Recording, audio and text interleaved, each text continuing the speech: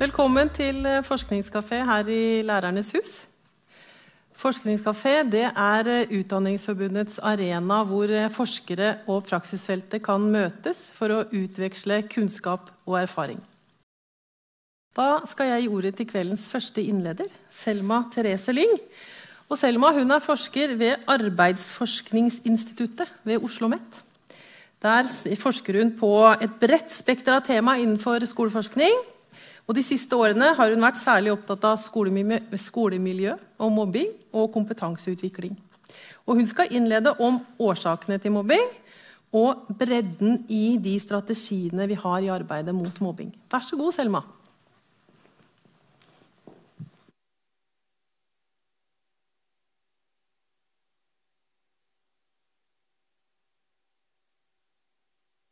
mobbeforskningsfeltet, for det gjenspeiler på en måte litt utviklingen i feltet òg. Eh, for det første så skulle jeg egentlig bli lærer, så jeg studerte samfunnsfag og spansk og norsk. Men eh, så ble jeg så hekta på sosiologi at jeg ikke klarte å slutte. Men da hadde jeg jobba så mye som lærervikar i korte og lengre vikariater gjennom eh, hele studietida, og elsket egentlig det. Men da måtte det i hvert fall bli skole det handla om da jeg begynte å forske. Og da eh, jeg begynte, så var det med å studere sosialt samspill og uformelle sosiale roller og identitetsarbeid eh, blant elever i ungdomsskolen. Og den gangen så husker jeg jo veldig godt, for da var jeg jo rundt og observerte og intervjua. Og så husker jeg at eh, det der med mobbing altså Det var en del ting jeg følte at jeg som sosiolog måtte holde meg litt unna. Og det var liksom mobbing og en del utagering. Så jeg tenkte at nei, det jeg holder på med, det er sosiale dynamikker i normalgruppa. Eh, og det var også sånn da, for 20 år siden, at eh, når det gjaldt å forklare dynamikker og årsaker eh, i mobbing, så var det særlig fokus på individualpsykologiske forklaringer. Eh, at man liksom så etter typiske mobbere som hadde kjennetegn som handlet om noen eh, psykologiske dysfunksjoner, enten knytta til personlighetstrekk eller oppdragelse, eh, som gjorde at man fikk en tendens til økt det som kalles proaktiv eh, aggressiv atferd. Altså at man brukte mobbing en som en strategi for å oppnå et gode. Eh, og det handlet om da, Istedenfor reaktiv aggresjon, så var det en uprovosert krenkelse av andre. Eh, og i tillegg da et sånt trekk som var mangelfullt utvikla empati, som gjorde at eh, de impulsene til å krenke andre ikke stoppes. På en måte at man er villig da, til å såre og skade og tråkke på andre for å oppnå et mål eller gode. Eh, og så har det jo i løpet av da, de seinere åra blitt utfylt og utfordra i feltet knytta til disse forklaringene. Fordi så etter hvert at Undersøkelser viste jo også at omfanget av elever som er involvert i mobbing, det er jo mye bredere. Eh, og omfatter også normalelever og elever som ikke har psykologiske dysfunksjoner. Og Man så jo også at det ofte var veldig mye skiftende posisjoner. Man kunne liksom gå inn og ut av roller som mobber og mobbeoffer. Så Um, uh, de senere årene som, uh, hvor man har uh, sett enda nærmere på da, sosiale prosesser i, i, mobbing, så har man sett at et fellestrekk er på en måte at det er liksom normale sosiale prosesser som kommer på avveier. og det er dynamikker som på en måte også kan trigge proaktiv aggressiv atferd. Altså det der at man skal oppnå et mål på bekostning av andre, og som også gjør at på en måte, empatien vår blir litt sløva. Eller sensitiviteten for det vi påfører andre, blir litt sløva. Og det kan jo skje både blant oss voksne og barn. Og det handler om dynamikker som også aktiveres i skolen. Um, det er jo sånn at uh, um, det å skape samlende fellesskap i en klasse med mange elever med veldig forskjellig utgangspunkt og bagasje og evner og interesser, det er jo en utfordring i seg sjøl. I tillegg så kan man jo også si at det er en slags motkraft mot fellesskap innebygd i selve skolesystemet. At det skjer en eh, sortering ikke sant, i, og konkurranse etter mestring og skoleprestasjoner. Og selv om eh, konkurranse i mange sammenhenger kan også være positivt, og selv om man gjør grep for å tone ned følelser av konkurranse og prestasjonshierarki da, mellom elevene, så er de jo ofte også veldig klar over hvordan de sjøl ligger an, og, og, hvordan de eh, liksom rangeres i forhold til eh, medelever, og hvem som er mer og mindre flinke på skolen. Og Det fins en god del studier som også viser hvordan elever som opplever å komme til kort når det gjelder faglig mestring og prestasjoner, også kan respondere på en måte med å lage konkurrerende statushierarkier for å kompensere. Um, jeg skal nå um, si litt om fire forskjellige typer sosiale gruppedynamikker. Og grunnen til at jeg dveler litt ved det her, det er fordi at det, er også viktig hvordan vi forstår det når vi kommer tilbake og snakker om tiltak og liksom hvilke verktøy man skal ha eh, i håndteringen. Eh, fordi eh, de to første dynamikkene som jeg skal snakke om, de handler om eh, sosiale gruppedynamikker hvor det er liksom full utstøtting av én eller noen få. Og her trekker jeg på særlig en dansk forsker som heter Dorte Marie Søndegård, som beskriver hvordan Selv om det å inngå i en gruppe, da, som f.eks. en klasse, det gir mulighet til tilhørighet, som er helt livsnødvendig for oss. Men samtidig så bærer det også i seg faren for å bli ekskludert. Og dermed så ligger det på en måte i alle grupper en sånn ulmende frykt da, for eh, å bli ekskludert. Og På den ene siden så kan den sosiale eksklusjonsangsten ha en slags positiv og produktiv funksjon, fordi den motiverer gruppemedlemmene til å innordne seg normer i gruppa. Men på den andre siden så kan den utryggheten f.eks. i en klasse. Den sosiale utryggheten bli såpass sterk at den bikker over i sosial panikk.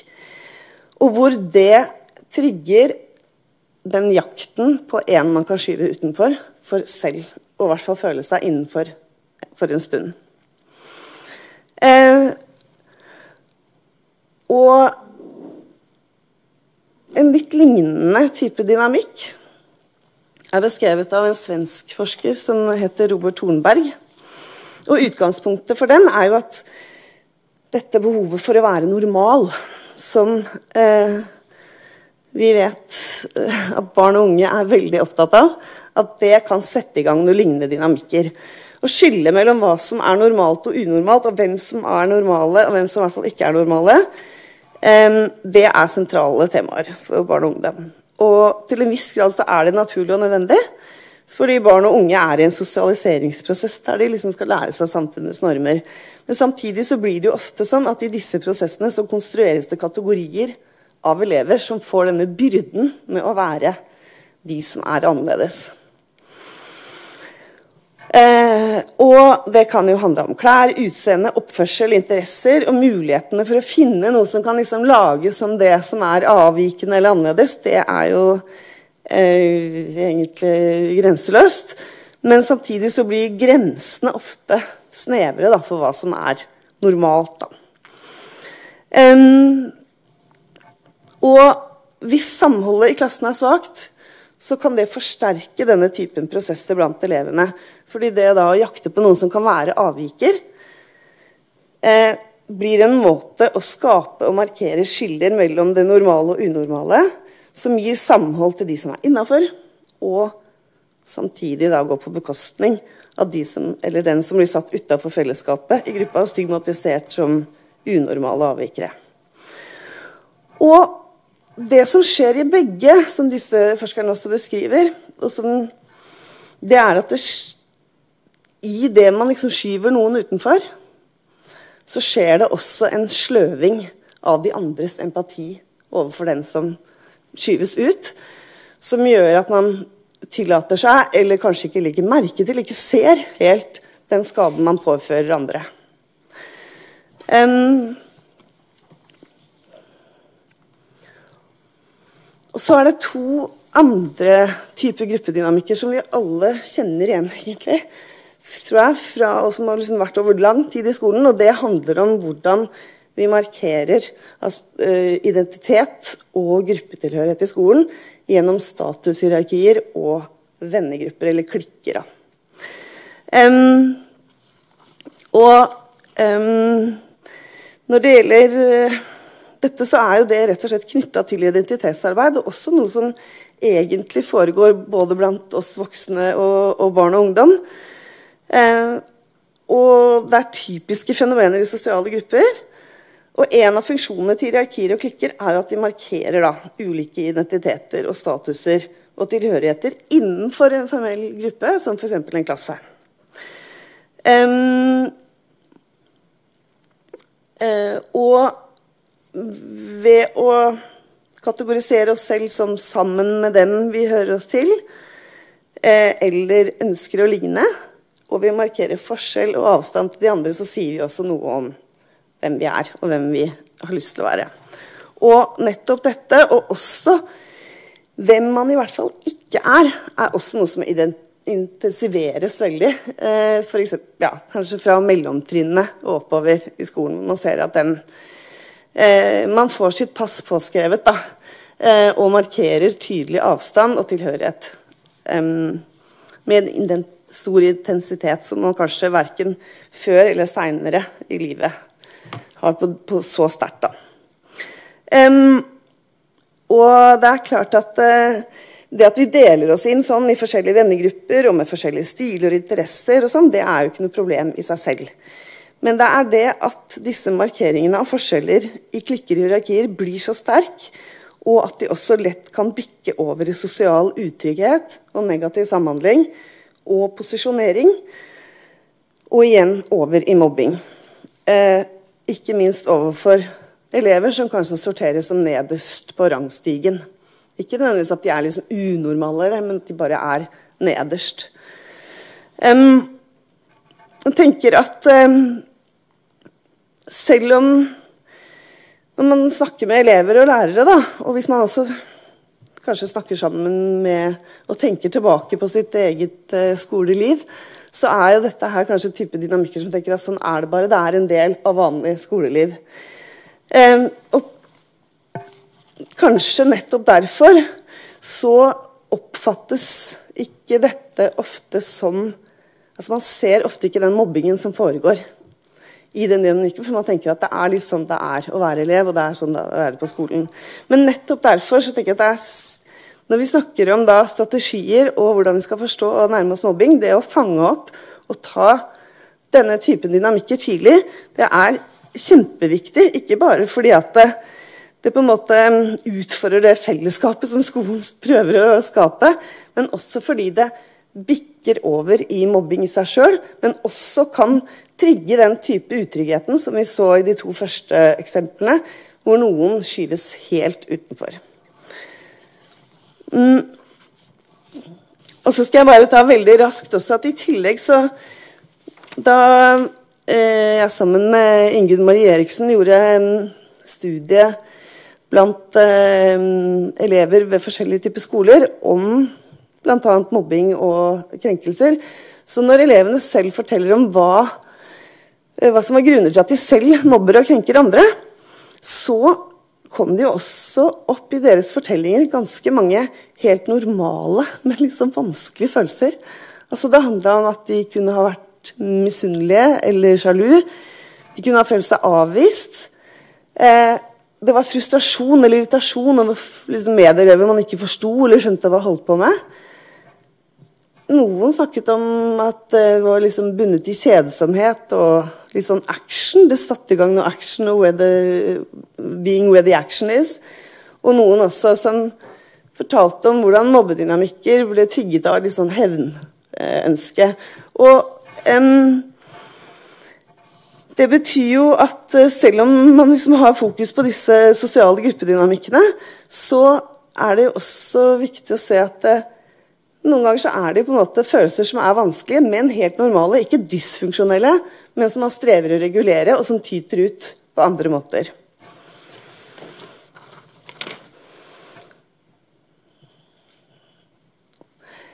Det spørsmålet om har vi de verktøyene vi trenger jeg tenker at I stedet for å bruke det verktøybegrepet, kanskje bruke strategier. For det er ikke noe sånn enkelt verktøy. Men det, det, det som vi står overfor, både i forhold til at årsakene er så mange forskjellige, og som vi ser av eh, de siste tallene, ikke bare at mobbing øker, men man ser også fra f.eks. statsforvalternes oppsummeringer at sakene blir mer komplekse.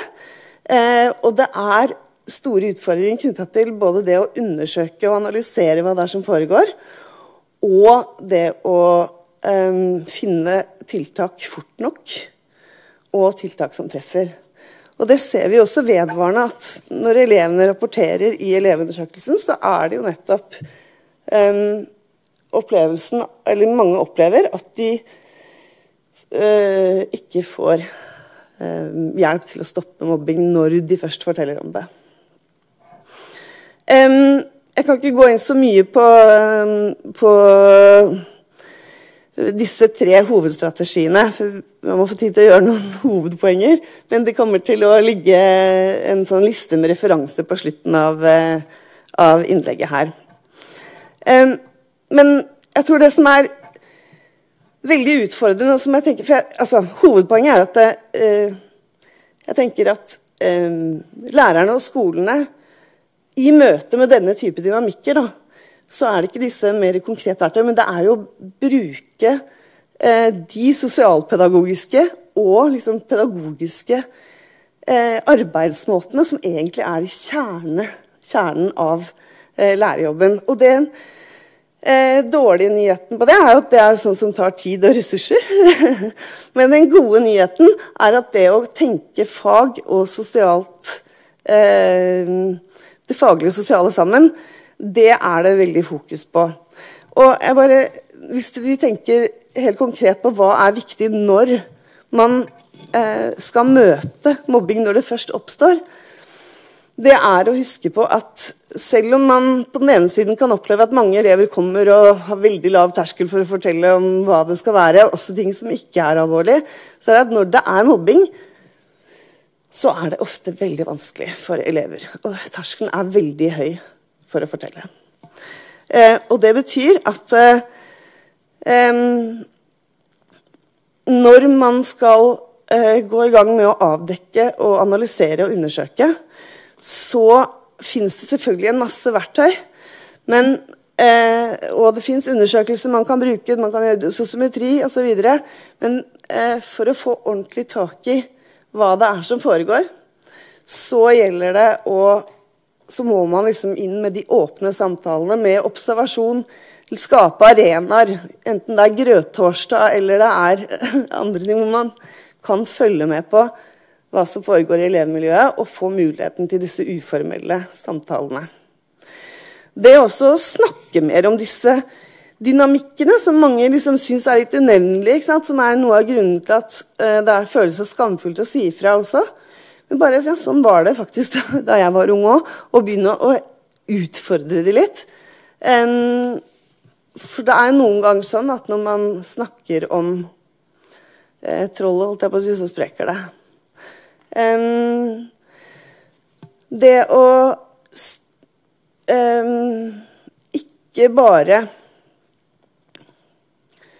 eh, bruke den atferdsreguleringsbiten av strategiene som handler om å I verste fall, da eh, I verste fall så kan det bli sånn at man liksom krever Uh, akkurat bevis for hva som har skjedd. Man um, krever at noen står fram og uh, er offer og peker ut noen konkrete personer og på en måte må stå for det kaller inn til eh, samtaler eh, for, og, og, negative konsekvenser for de som eh, mobber, men kanskje uten at man sikrer seg at den som har sagt ifra, ikke mottar represalier. Det er jo en sånn satt på spissen en eh, veldig uheldig situasjon hvis man fokuserer på den type liksom kvasijuridisk og sanksjoneringsorientering framfor å jobbe mer lavterskel eh, i relasjoner og miljø hvor du kan eh, hvor du kan komme litt unna denne liksom, kvasijuridiske dynamikken da, med bevisførsel og eh, um, hvor det ofte blir ord mot ord. Og hvor det ofte også da blir sånn at mange elever opplever at det ikke hjelper. Og så har jeg lyst til å si en ting til òg, som er sånn Det kan sikkert være litt sånn Det, alltid, øh, altså, det er ikke noe tvil om at uh, relasjoner og miljøbygging krever tid og ressurser. Men det om man også kan tenke på det at krenkelser skjer, det er jo også læringsmuligheter. Det er ikke bare tidstyver. Og eh, hvis både de som blir utsatt for krenkelser, og de som utfører det, hvis man stiller seg spørsmål, Hva er det de skal lære gjennom denne prosessen? det vi går gjennom nå, Måten vi håndterer denne på, hvordan skal de komme styrka ut av det? Uansett hvilken rolle de har hatt. Um, ja, da tror jeg jeg må slutte der. Takk for meg.